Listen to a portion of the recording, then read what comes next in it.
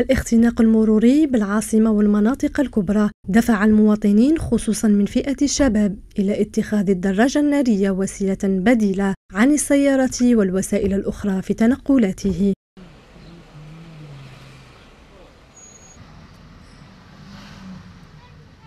فئة حريصة على تطبيق القانون وأخرى متهاونة من خلال عدم استعمال وسائل الحماية كارتداء الخوذة واحترام قانون المرور.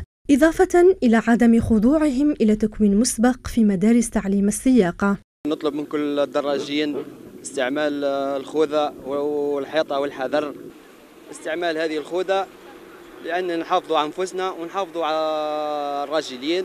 والله أنا تهاونت آه، مدام وشغل أنني مخالف درك القانون. على بالي بلي شغل كاينة أضرار ومنا وهكا مي تهاون. أنا كسائق دراجة نارية لازم نكون لازم لابس آه، الخوذة ونحترم آه، القانون.